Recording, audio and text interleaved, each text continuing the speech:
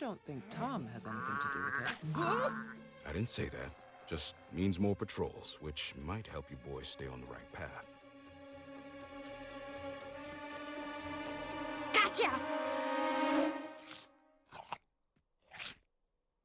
Ah,